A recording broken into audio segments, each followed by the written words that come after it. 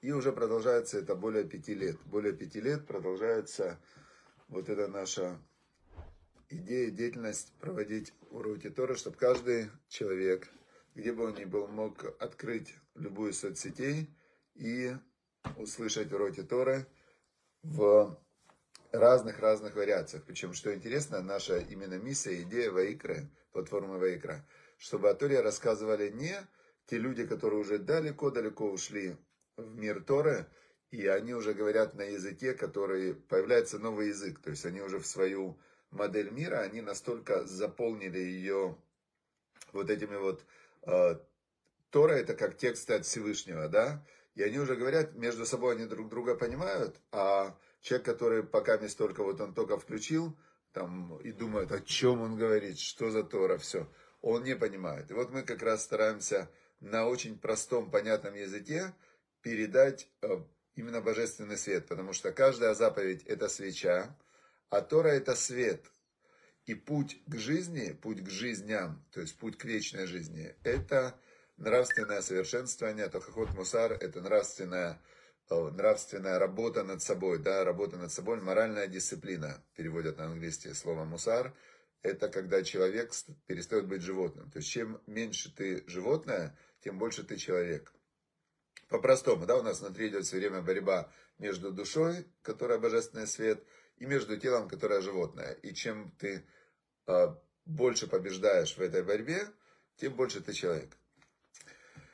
Хорошо, теперь э, сегодня у нас глава Пинха заканчивается, и э, вся глава, вся глава, вот начиная со вчерашнего дня, посвящена инструментам, как приближаться ко Всевышнему больше всего. И оказывается, оказывается, что больше всего при, приближают ко Всевышнему какие инструменты?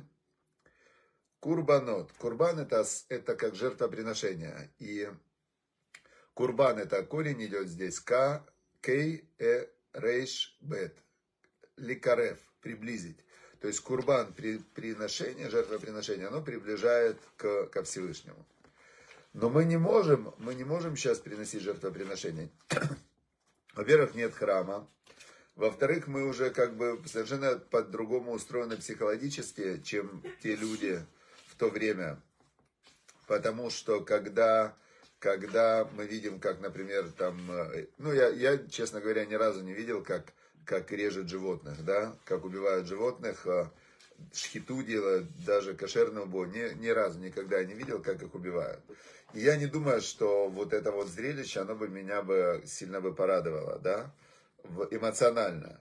Но те люди, которые жили в то время, когда детская смертность была 50% э, сразу при родах, а в течение первых пяти лет еще там умирали дети. То есть, э, когда человек видел за свою жизнь, уже там к пяти годам он видел много смертей, и не, нельзя было покушать, если ты предварительно не убил это животное. То есть люди были ближе к, ближе к этому моменту вот перехода из этого мира в мир духовный. То есть смерть это переход из материального мира в мир духовный. И когда человек видит вот эти вот переходы, неожиданные переходы или ну, там, болезненные переходы, то у него появляется ракурс такой в жизни, да, он понимает, что жизнь в этом мире, она может в любой момент прекратиться, да, дай Бог каждому из нас долгие годы жизни, как э, мы учили в Мишлей, что, что Тора, она дает человеку орах ямим, долгие дни, вышнот хаим и годы жизни, вешалом, Юсиф Улах, они добавляют и шалом. Самое же главное не просто как ты живешь, а живешь ты в шаломе, в мире, да, с собой, в мире с близкими, в мире с, вообще в мире, когда вокруг нет войны. Или ты живешь в какой-то жуткой войне, да. Милхама это бывает у человека внутренняя война, когда он все время сам с собой там воюет. Бывает у него, не дай бог, война с близкими. Бывает у него война, вообще война, в которой сейчас мы живем. Страшная вещь вообще. И значит, люди в то время больше намного сталкивались с несчастьями, с такими реальными несчастьями. И поэтому они больше ценили, больше ценили в шалом, да. Хорошо, теперь получается так. А, жертвоприношения сегодня нет. Но дальше идет вот в сегодняшнем отрывке, как раз шестой седьмой отрывок, а, здесь идет а, повторение всех законов про праздники. про праздники, праздничные жертвоприношения, но и без жертвоприношений праздники, они являются моментами такими в течение года, да, вот есть 365 дней. И в течение года у нас есть, начиная, во-первых, есть каждую неделю, суббота, это праздник, это праздник соединения со Всевышним. Седьмой день. Ты перестаешь, прекращаешь повелевающую, ну, не повелевающую, творческую деятельность, то есть ты останавливаешь свое изменение мира, да, то есть ты перестаешь работать, и ты начинаешь э, наслаждаться тем, какой мир, какой мир, как он вообще Всевышний его сделал, прекрасно. Ты благодаришь Всевышнего целый день, благодаришь, обращаешь внимание на людей, которые вокруг тебя, семья, в синагогу приходишь. То есть ты, суббота, каждый седьмой день, ты входишь в состояние соедин... остановки, да. Шаббат, на самом деле, он переводится как остановка. И ты останавливаешь вот этот вот автоматический свой бег, какой-то реактивный, и ты такой, оп, и 24 часа ты на контакте со Всевышним. Если ты это сделал правильно, то ты обнуляешь каждый седьмой день, обнуляешь свою духовную, как бы, духовную составляющую, и ты начинаешь, понимаешь, что, в принципе, день первый, день второй, день третий, день четвертый, что ты что-то делаешь, делаешь, делаешь, делаешь, потом оп, шаббат, остановка. И так же когда-то жизнью будет. То есть ты жизнь в материальном мире живешь, живешь, живешь, потом оп, остановка. Выход из тела, здравствуйте, а чем ты занимался? Да я работал все время. Ну и что ты с собой что принес? Да ничего не принес, все там оставил. Вот, значит, все там оставил, а, а сюда-то что принес? Ничего. А уроки Торы проходил? Не проходил, вообще ничего не знаю. А добрые дела делал? Ничего не делал, только забирал. А значит, молился Всевышнему, благодарил за то, что есть хотя бы. Мне ничего не благодарил, что, я же сам все делал. Ну, значит, до свидания, извините, вы прожили жизнь зря, значит, впустую. Все, что вы делали, вы делали для себя, все ваше там и осталось. Значит, для души своей вы ничего не делали, поэтому, значит, game over. Все, а другой приходит, чем занимался? Я, о, класс, а я все знаю, значит, вот я знаю, что сейчас здесь будет, там небеса, все, я учил про это все, знаю, конечно, как все работает. А еще чем занимался? Заповеди соблюдал каждый день, все сделал. Доброе дело делал. Постоянно вообще, с утра до ночи. Все время тут доброе дело, там доброе дело, здесь доброе дело. Все, пожалуйста, пройдемте на следующий уровень. Вот у вас мир получения награды. Вы там хорошо поработали, тут хорошо отдыхаете. Как перед шаббатом. Сейчас перед шаббатом, например, кто подготовится к шаббату, тот 24 часа может отдыхать. Еду приготовил, все заготовил и отдыхай себе, да. А кто не подготовился, шаббат ничего делать нельзя, или ты нарушаешь волю Всевышнего. Вот и все. Хорошо, значит, здесь нам рассказано про все праздники, начиная с месяц Нисан, первый месяц года, на 15 день в полнолуние месяца Нисан, исход из Египта. Дальше, прошло 50 дней, 7 недель, Шавот, день дарования Торы. Дальше, проходит после Шавота, получается, Шавот у нас это третий месяц года, третий месяц года, проходит 4 месяца, 4 месяца проходит, и праздник, который называется Сукот. Живем в шалашах, значит, 14 а, секундочку, проходит еще, получается, с третьего месяца по седьмой месяц, первый день седьмого месяца, это Роша Шана, это начало в духовном плане, начало года. То есть Песах это начало года в физическом плане, да, когда вышел на свободу физически. А Роша Шана – это день, день суда, когда, когда про, как бы, просвечивается твоя ментальная, ментальная твоя сущность, да. То есть у человека есть его тело, ну, тело тоже зависит очень сильно от мышления. То, как ты тренируешься, как ты относишься к телу, все стрессы, там, эмоции, все в теле отражается. Теперь, но главная часть все-таки в человеке, которая выделяет человека, определяет человека, отличает каждого из нас друг от друга – Главная часть это способ мышления. И в Роша Шана человека проверяют, а как ты мыслил? Что ты делал в прошлом году? Все, что ты делал, это следствие твоего мышления. А что ты собираешься делать в следующем году? Это все в голове. Рош – это голова года. А что ты собираешься? Какие у тебя цели? Что ты любишь? Что для тебя важно? Какие ты ставишь себе какие-то правила, принципы? Все, это идет как такой рентген, МРТ, такое духов... интеллектуальной части человека – в Роша Шана. Потом э, ему дается 10 дней, 10 дней раскаяния. Те, кто концептуально живут в Торе и понимают, как все работает, они знают, конкретно знают, что с первого числа месяц Тишрей до 10 числа месяц Тишрей 10 дней называется 10 дней раскаяния, и можно в эти 10 дней поменять всю свою интеллектуальную сущность. И, значит, что такое раскаяться? Сказать, ты знаешь, я вот думал, что вот это правильно, и я хотел это делать. А вот сейчас я понимаю, что это неправильно, и я хочу делать что-то противоположное. Это называется раскаяние, да, когда ты с плохого пути сходишь, как бы переключаешь рейс, рельсы. И 10 дней есть э, на то, чтобы поменять свое мышление и перезагрузить как бы, да, свой компьютер. И после этого что? Йом-Типур. Бах, Йом-Типур – это день искупления грехов. Но как он устроен, день искупления грехов? Очень интересно. Ты берешь, значит, берешь ты сутки, не ешь, не пьешь. Вчера, кстати, был пост, и это такой, как, каждый пост это как мини-йом-типур. Ты говоришь, мое тело не будет мной управлять. Мое тело, мои животные инстинкты, они подчинены моей душе.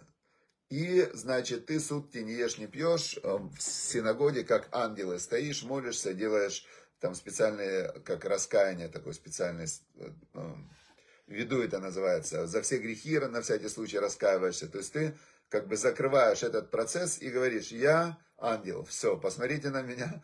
Я, может, я и был не ангел в прошлом году, но в этом году я выбираю быть ангелом, все.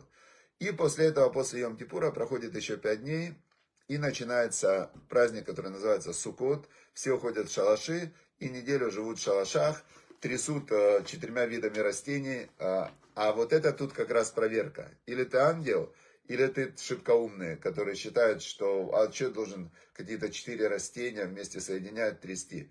Потому что Всевышний сказал, поэтому и надо. И живешь в шалаше, э, есть такая, знаете, как выражение, с милым и рай в шалаше. То есть, если ты в душе действительно установил вот эту связь со Всевышним, в котором ты полагаешься на Всевышнего, в котором у тебя есть одна забота, выполнять заповеди и делать то, что Всевышний сказал добром, и не делать то, что Всевышний сказал злом, у тебя наступает внутри полное, полнейшее умиротворение, и ты прямо в этой суте живешь себе, кайфуешь, и понимаешь, что для счастья что нужно, только чтобы на душе было хорошо. И, значит, э, после этого, это у нас седьмой месяц, заканчивается праздник Суккот, и мы ждем опять чего? Опять мы ждем Песаха, то есть первый месяц, оставим через там 4-5 месяцев, опять все начинается заново. И в главе Пинхас, в весь конец главы, нам рассказывается в подробностях про эти все праздники, э, как, что, что Всевышний конкретно сказал в каждый праздник делать, что делать нельзя, как его провести, чтобы в это специальное время, делая специальные действия, соединяться со Всевышним. И это очень важный урок, который мы сейчас э, вот отсюда хотим вынести, что если в правильное время делать правильные действия, то будет все хорошо. И как раз я хотел бы, тут есть такая книга, очень всем рекомендую, Рав Джонатан Сакс, называется «Уроки лидерства». Рав Джонатан Сакс, он был рав Англии, э, он был раввином Англии, и, ну, там, он с королевой там был в хороших, в этом он был лорд, пэр Англии. То есть в Англии он считался один из самых умных и выдающихся людей последних десятилетий во всей Англии, не только в еврейском мире. При этом он был главный раввин э, объединенного этого королевства английского. В общем, очень был выдающаяся такая личность. И он, значит, написал много книг. Есть одна из его книг, которая называется «Лидерство в Торе» уроки лидерства, где он по каждой недельной главе, он э, как бы приводил, какой урок для лидеров мы отсюда можем выучить. И глава Пинхас, да, которую мы сейчас изучали, он говорит, что глава Пинхас, она содержит мини-очерк о лидерстве, который, э, который прямо в нем есть ну, сжатая, некая сжатая формула лидерства. Очень интересная. В чем она заключается? А, Маше Рабейну, когда он понял уже, что он не зайдет в землю Израиля, в этой недельной главе Бог ему еще раз повторил, что ты уже приближаешься к смерти, в землю Израиля ты не зайдешь. И в этот момент Маше Рабейну попросил, чтобы Всевышний поставил вместо него другого лидера. Это была его просьба.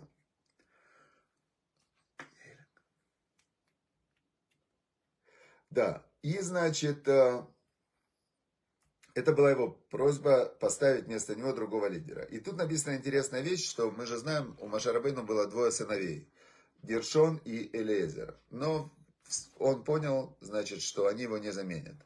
Интересно, что Тора очень сильно разделяет э, между разными-разными функциями в духовной работе.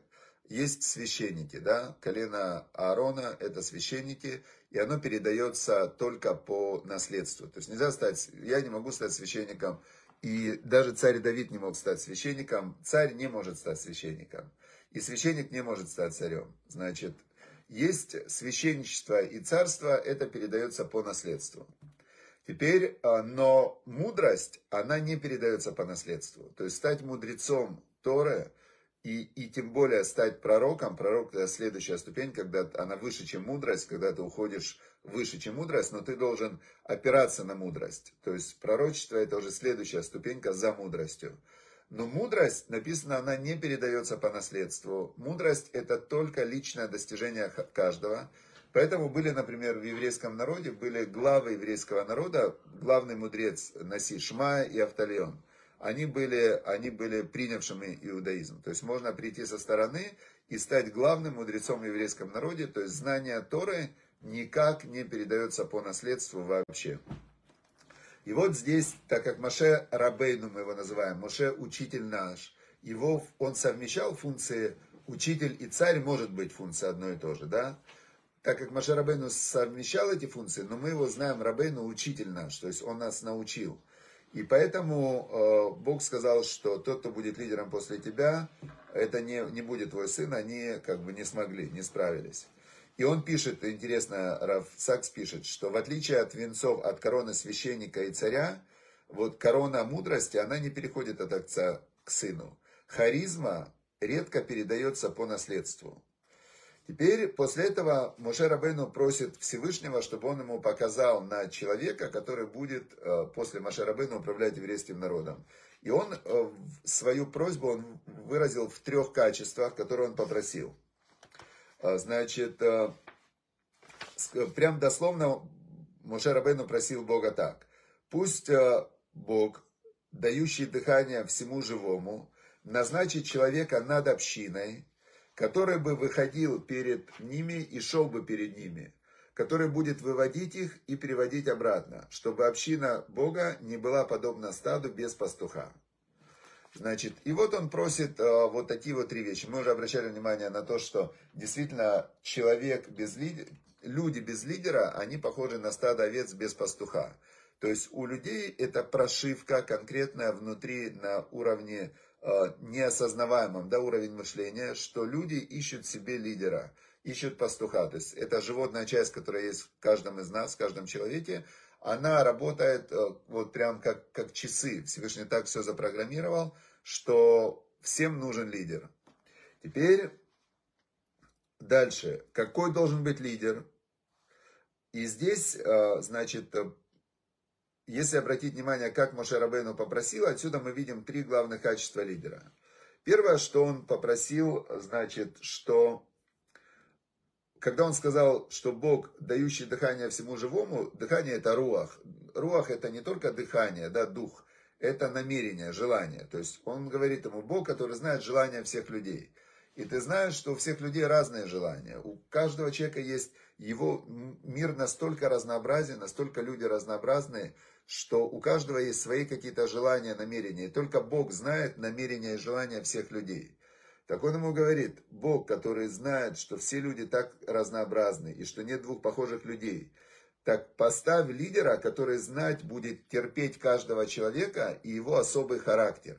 То есть лидер, он должен учитывать всех вообще, что один то хочет, другой то, один это, другой это. То есть он должен быть человеком, который учитывает разнообразие каждого. Теперь дальше. А, очень интересно. Да, и так как все разнообразные, то без лидера люди не могут, они превращаются в хаос. Теперь дальше. Лидер уважает разных людей как дирижер оркестра, соединяющий в общем звучании множество инструментов. И истинные лидеры не стремятся навязать единообразие, они ценят разнообразие. Второе, что попросил Маше, это чтобы это был Иш, человек. Ну, дальше он приводит, что два раза это используется в Торе. Слово Иш, человек, как бы с большой буквы, оно обозначает в одном случае, это было, что Бог сказал Моше, Иш, а, она в Миколь Адам, что он человек самый смиренный из всех людей. В другом случае говорится, что он был, значит, Иш Моше, он был очень велик в стране египетской. То есть а, вот это вот качество человек, оно здесь соединяет, что он с одной стороны, он великий по всем своим действиям, талантам, там он очень, ну такой очень мощный, с другой стороны, он при этом смиренный. Для лидера это очень важно, потому что иначе а, он будет отталкивать какую-то часть людей. И третье, что он попросил, третье, что он попросил, значит, чтобы он ходил, выходил и шел перед ними, да? Это значит, что лидер должен руководить, находясь впереди, но в то же самое время он должен не двигаться слишком быстро, учитывая, учитывая скорость движения всех людей, которыми он руководит. В общем, Машера Бейну просил найти такого лидера. Всевышний показал а, на Юшуа бин Нун. И это был ученик Машера Бейну, который все время учился у него. И отсюда мы учим а, такой закон, что Шимуша Шель Тора, Шимуша это как, когда ты находишься рядом а, с Торой, да, и прислуживаешь мудрецу, то есть ты находишься рядом с ним, и все время ты рядом с ним в жизни. Это больше, чем изучать Тору. То есть через личный контакт и через то, что ты за ним повторяешь, а, это больше передается Торы, чем когда ты учишься. И Иешуа Бенун, который не отходил от Маше Рабейну, он стал его преемником, то есть он больше всех впитал от Маше Рабейну. Вот такая у нас сегодня из э, главы Пинхас. Мы, значит, учим, как это все работает. И для нас это большой урок в жизни, да, то есть первое, организовать свою жизнь так, как, э, ну, чтобы вписываться в ритм Всевышнего, то есть есть ритм Всевышнего, 6 дней работы, 7 отдыхай, э, утром встал, помолился, перед заходом солнца помолился, после выхода звезд помолился. То есть организуй свою жизнь, э, чтобы попадать в ритм со Всевышним. И самое-самое главное, то, что я хочу пожелать сегодня каждому из нас, и себе в первую очередь тоже, чтобы мы нашли тех лидеров, которые нас ведут, и которые реально, как Моше Рабейну, как Юшо Бенун, которые э, настоящие лидеры, великие, смиренные, полностью как бы посвященные Всевышнему. И если нам повезет найти таких лидеров, и чтобы именно такие лидеры управляли э, городами, странами, людьми, а не, а не те, кто управляют сейчас, которые честолюбивые в честолюбивые, да, есть такое слово, амбициозные, честолюбивые, значит, хитрые. Это, это все, э, к сожалению, мы сейчас живем в мире, который управляется вот такими людьми, и результат, что мир на грани войны, такой глобальной Третьей мировой войны. И это ужасно, конечно. Это ужасно, потому что хорошим людям что нужно? Жить, работать, жениться, воспитывать детей.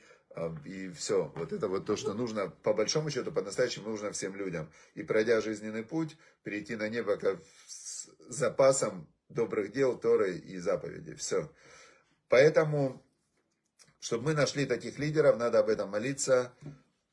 И, значит, э, с Божьей помощью они где-то, где-то он есть, этот Машех, в каждом поколении есть Машех, который, если будет достаточное количество людей, которые хотят, чтобы ими управлял именно праведный такой царь, то он проявится. И вот э, если мы об этом молимся, просим, создаем духовную энергию, то тот Машех, который есть в нашем поколении, он есть.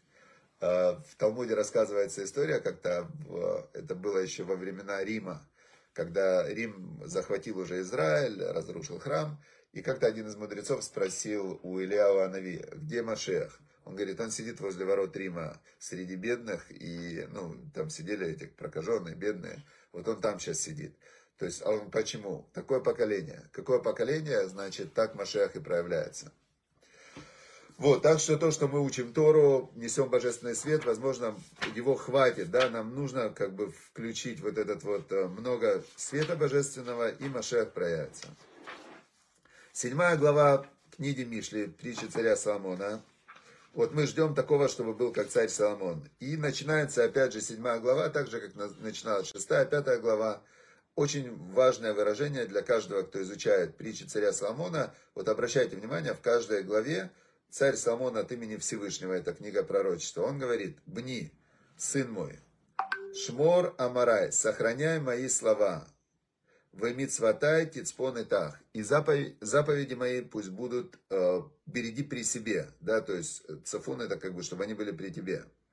Значит, что Тору не только надо услышать интересно, а нужно ее сделать своим мышлением. То есть у человека постоянно в голове крутятся, крутятся какие-то мысли. Он как мыслемешалка такая, всплыло одно, всплыло другое, туда, сюда. То есть постоянная такой мыслемешалка, ассоциативная.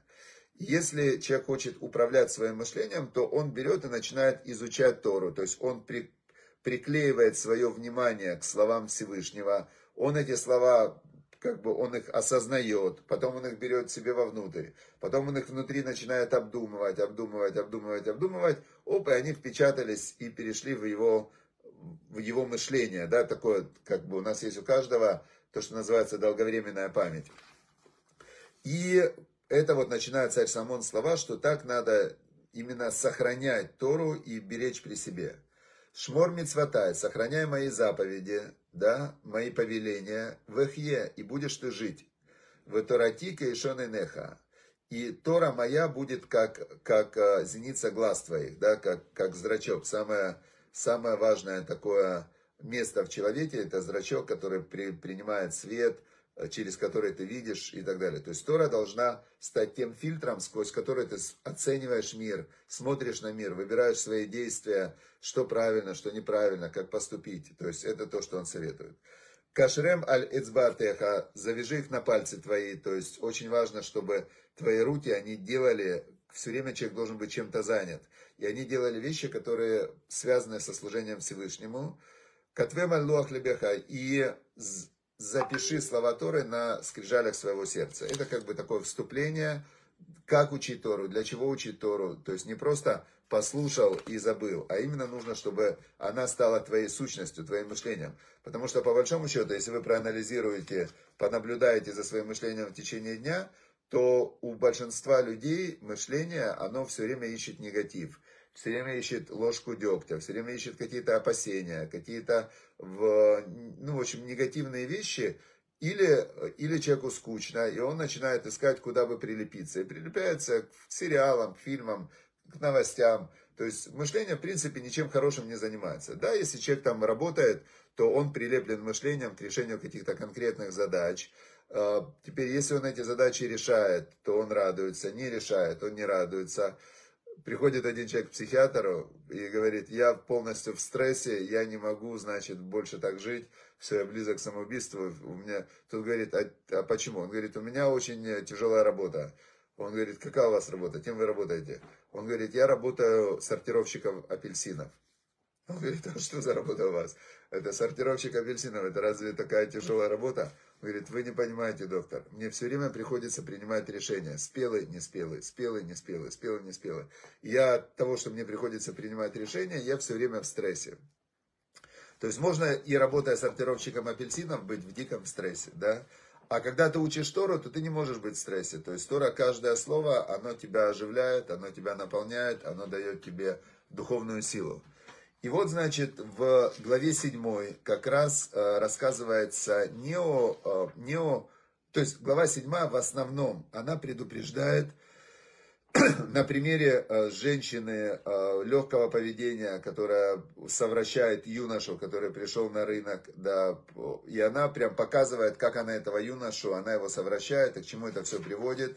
Значит, это и про женщин, но в принципе это же метафора, это же притча, это про идеологии, которые заходят в голову, как змей вот этот вот, да, которые вместо Торы. И они говорят, слушай, ну отодвинь, ну какая разница, вот есть Оша, да, Оша, а что Оша говорит? А ничего говорит, типа, э, я не знаю, что Оша, честно говоря, говорит, но есть какой-то Оша, который, значит, и люди, которые за Оша там, а, а, ашисты они, я не знаю, как они себя называют, эти ашисты. Ну, в общем, в итоге 26 э, отрывок, предпоследний последний отрывок главы 7 я прочитаю. Тот, кто идет за чуждыми мировоззрениями, которые уводят от Бога и от Торы. 26 отрывок. Кирабим халалим и пила ваацумим коль арогея. Многих она убила, эта женщина, и многочисленные, э, и многочисленные сильны те, кто убит ею, да? То есть э, все вот эти вот мировоззрения, все вот эти вот расслабление. Куда они все ведут? В удовольствие разрешить человеку быть животным. Все идеологии, они, если взять глубоко, что они пытаются человеку объяснить, что ты животное, делаешь, что хочешь, и, значит, нет никакого Бога, никаких правил, никакого добра и зла, то есть живи, живи как животное. 27 последний отрывок главы. Даркей Шеоль, ее пути ведут в преисподнюю. Бейта Эрдот Эль Хадрей Мавет. И пути, все пути, которые она тебе предлагает, в итоге они спускаются в, в обиталище смерти. Все, это как раз э, результат любых, любых вот этих вот э, мировоззрений, которые ведут в сторону от Торы. Все, дорогие друзья, всем удачи, успехов, шаббат шалом. Видите, приятно, что у нас сейчас нас смотрят в Фейсбуке 85 человек, в Телеграме 58 и в Ютубе 25. Вместе это получается уже больше, чем 150 человек. Слава Богу, намного больше, 150, почти уже 200 человек смотрят одновременно урок Торы. И это отлично, это прекрасно. Если у вас есть возможность дальше его кому-то передать, переслать, то очень удобно это делать. В Телеграме как раз у нас есть и аудиоверсия, именно в Телеграме, в канале Вайкра. Есть аудиоверсия, есть видеоверсия, потом этот урок попадает на сайт.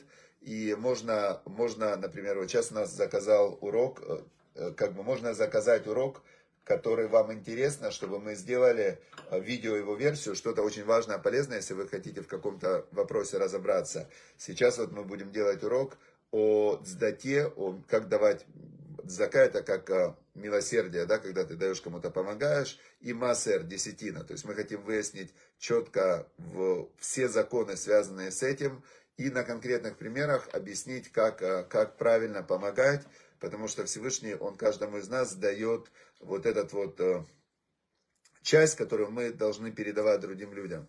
И от того, насколько ты правильно это делаешь, Всевышний в одном месте сказал, проверьте меня как вот вы можете меня проверить, тест. Это отделяйте массер и разбогатейте. Кому интересно разбогатеть, кто-то же, наверное, хочет, чтобы было больше денег, то как раз вот мы попытаемся разобраться, спросим знающих таких прям раввинов, как правильно понимать эти слова, которые есть, это слова пророка, и как правильно отделять эту десятину, кому ее передавать, как правильно помогать, чтобы и разбогатеть, и унести с собой в духовный мир то, что ты создаешь в этом мире. Все, всем удачи, успехов, шаббат шалом, до встречи. До встречи в воскресенье.